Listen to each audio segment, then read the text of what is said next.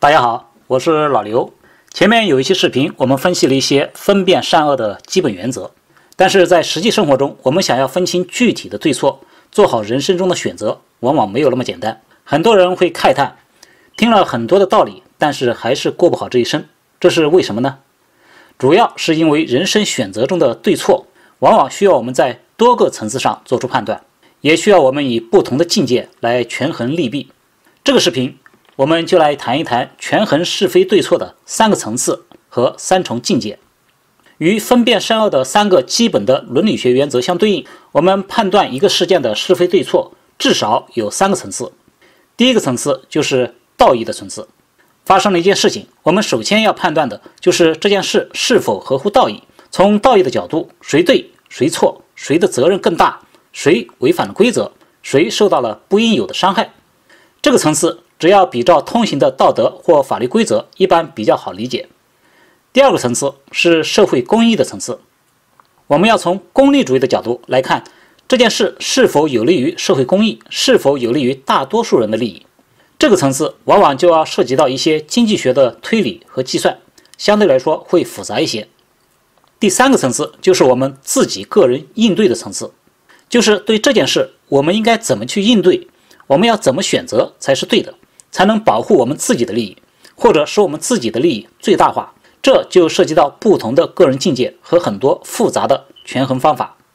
举一个例子，政府为了修公路要拆迁一户人家，这是怎么分对错呢？首先，从道义的角度，私有财产不可侵犯，这户人家有权不搬家。其次，从社会公益的层次，这户人家搬家的社会成本要比让公路去改道的社会成本要低得多，所以。他如果坚持不搬家，就是错的。最后，从个人选择的层次，这户人家选择搬还是不搬这件事的对错，要取决于很多的因素，比如补偿款的多少、不搬的后果、替代方案等等。一般来说，外人不知内情是很难判断具体的对错的。所以，郭德纲有句话说：“未经他人苦，莫劝他人善”，就是类似的意思。可以说，判断是非对错的第一个层次和第二个层次都属于。大道理的范畴，我们从小都被灌输了很多的大道理。我们的教育往往只教小孩子从道义或者公益的角度来分对错，而很少去教育如何从自己的角度来看对错，如何保护自己的利益。这些小道理、小算盘，学校是不怎么教的。然而，我们在做自己的人生选择时，大多数人还是会出于自私的本能来为自己的利益着想。由于不懂得保护自己的小道理、小算盘。很多人为了自己的利益，就只能够粗暴地抛弃大道理，而实际上，大道理和小道理很多时候是可以兼顾的。韩寒的电影《后会无期》里有一句流传很广、也很有争议的句子，叫做“小孩子才分对错，成年人只讲利弊”。其实说的就是这个意思。小孩子所受的教育，往往只教会他们从道义或者公益的角度来分对错，只会些大道理，而成年人要对自己负责。所以就需要懂得从自己的利益的角度来看对错，需要懂些小道理。这里呢，我就想来说清楚这些保护自己利益的小道理、小算盘。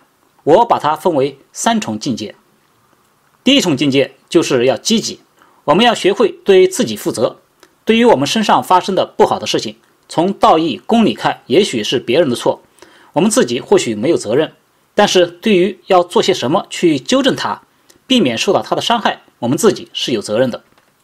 举个例子，一个人走在人行横道上，这时一辆卡车失控，向他快速的冲过来，他要不要去避让呢？如果他说我就是不让，卡车要是撞我，对方要负全责，这个人说的对不对呢？当然是对的。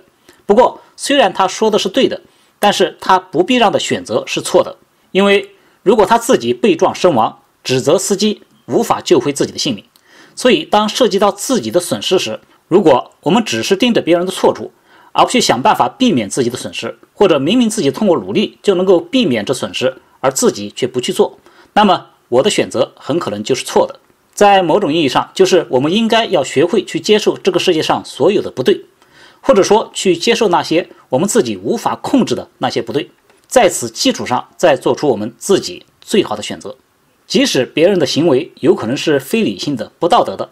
我们也要学会在预测别人的行为走向之后，在当时的环境下找到我们自己的最优解。这看上去有些消极，但实际上恰恰相反，这恰恰是最积极的人生态度。这会让我们摒弃爱抱怨的坏习惯，抱怨只会暴露自己的无能。富兰克林说：“我从未见过一个勤奋、审慎、诚实的人抱怨命运不好。这个世界上不公平往往是现实的存在。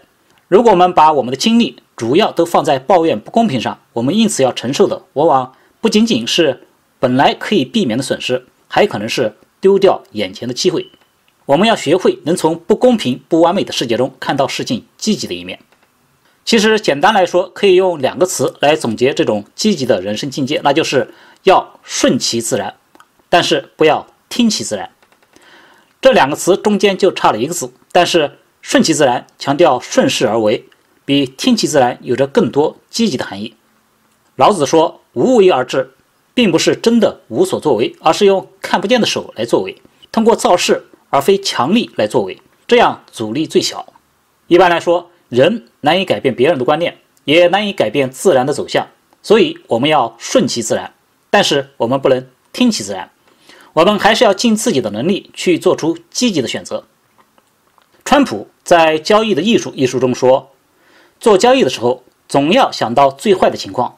如果你为最坏的情况做好了打算，如果你能够应付最坏的情况，那么当情况好转时，老天就会自然的帮你把事情打理好。”以上是判断个人对错的第一重境界。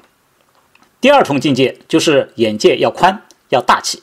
前面说过，在任何一个事件里，对错往往有多种层次，不仅有道义和公益上的对错，事件各方每个人都会有基于各自的立场、角度、观点、利益的个人的对错观。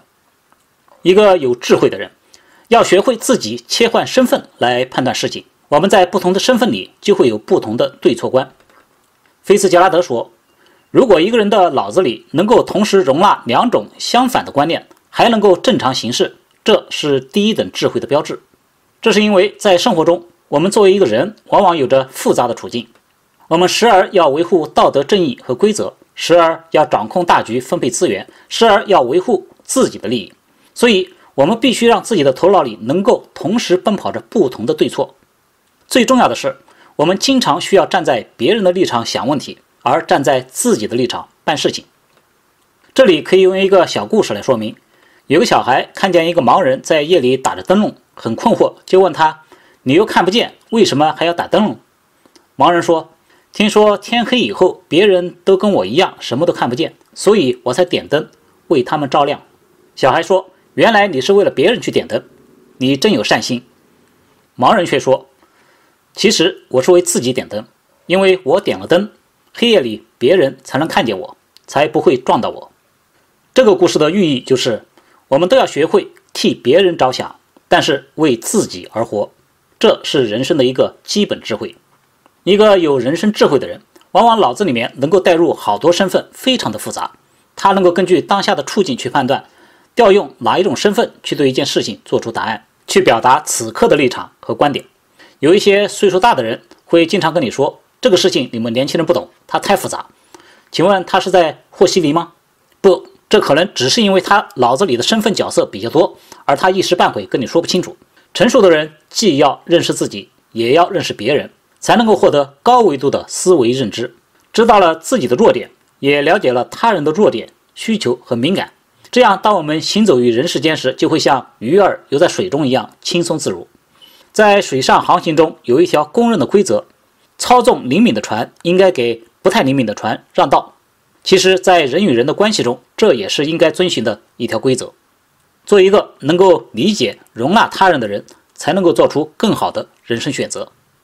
此外，一位管理学家说：“管理的真谛，说穿了就是把员工的个人利益与企业的集体利益挂钩，让每一位员工为了自己的个人利益而努力奋斗，自然也就。”为企业创造了价值，其实这也是当自己的利益与别人的利益有牵扯时的一个最佳的方案，就是我们要能够看到别人的利益所在，最好能够把自己的利益和别人的利益挂钩，这样当别人为了他的利益努力时，自然也就能成就我的利益。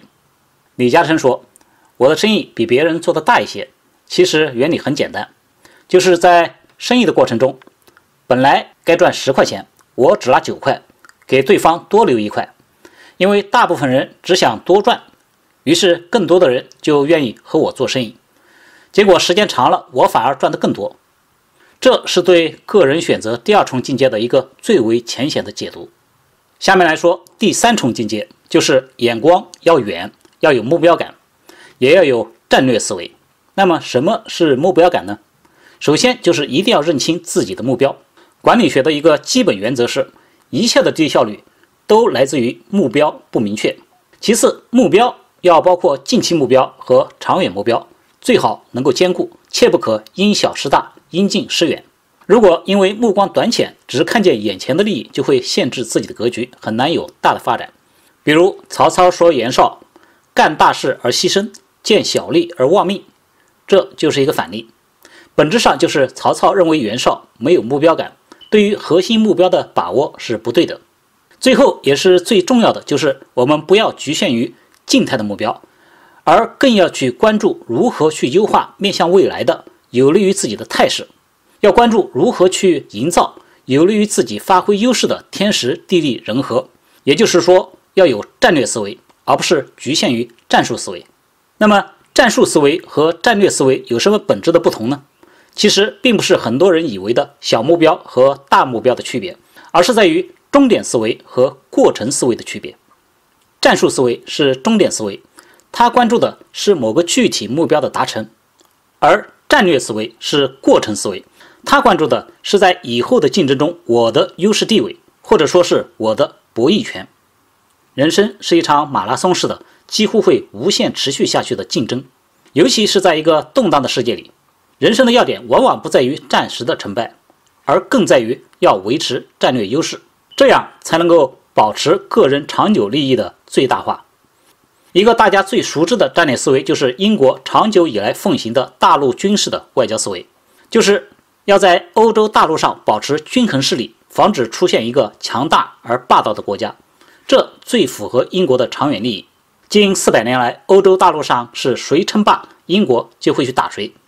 十六世纪打西班牙，十七世纪联合法国打荷兰，十八、十九世纪联合各国打法国，十九世纪联合法国打俄国。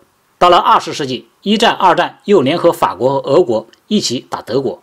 应该说，英国长远的战略思维是它的国运得以长盛不衰的一个重要原因。最后再举一个中国古代的例子，大家都知道战国时信陵君窃符救赵的故事。信陵君作为魏国的重臣，窃取兵符，以魏国之兵解救赵国之围，因此得罪了魏王，所以战后就留在了赵国。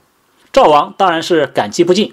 提出准备拿五座城池的土地作为报答，信陵君正准备接受，他的门客却劝他不要接受，说：“你虽然有恩于赵王，但是现在希望你能忘记。为什么呢？这是因为过去的贡献不等于现在的博弈权。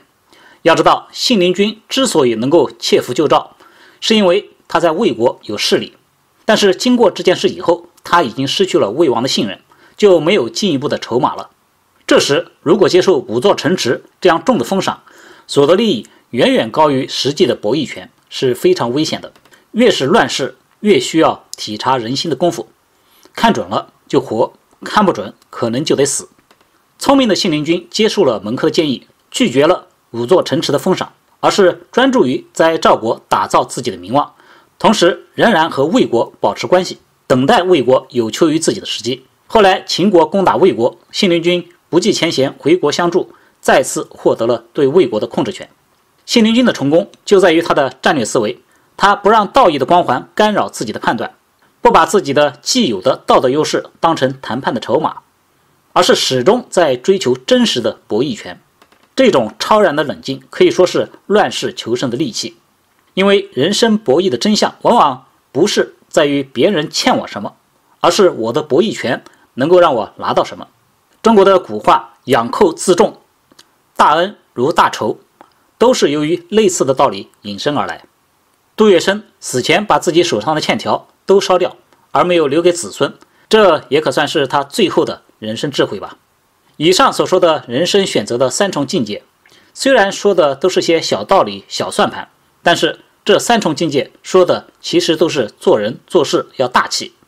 第一是对不完美的世界。要大气；第二是对合作同伴要大气；第三是我们的目标也要大气。